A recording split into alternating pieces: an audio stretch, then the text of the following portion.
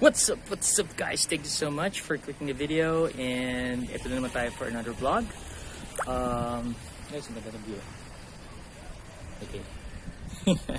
relax, relax tayo kasi ang vlog natin for today is nakaka-stress ba talaga mag-work sa BPO, sa call center? Okay, that's actually the vlog for today. Actually guys, galing lang sa work. Okay, ito yung ID natin. okay.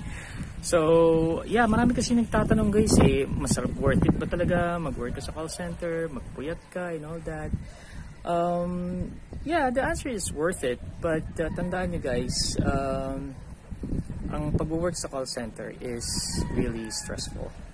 Okay, stressful siya talaga. Why? Because una sa lahat guys, you'll be dealing with most of the time, not all the time, angry customers. Okay?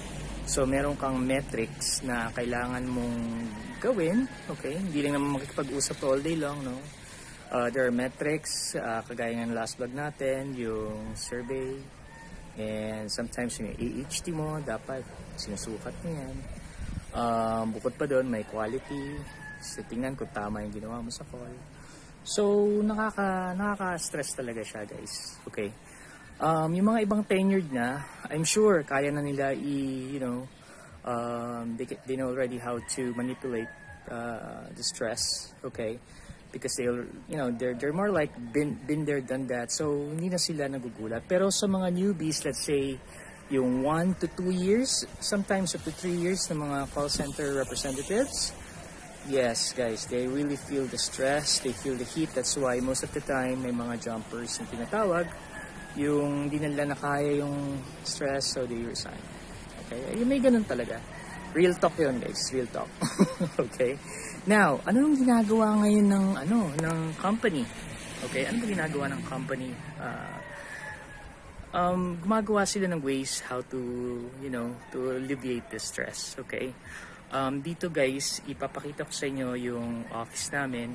So, makikita mo meron maliwalas, malamig, because they know stressful na nga yung work. So yung BPO industry naman, they're doing their best guys na para matanggal yung stress mo. Okay? So papakita ko sa inyo yung partial part ng office namin. Okay? So comment below kung nakakatanggal ba ng stress or hindi. Okay? So here it is guys. I hope you enjoy and see you on my next vlog. Alright?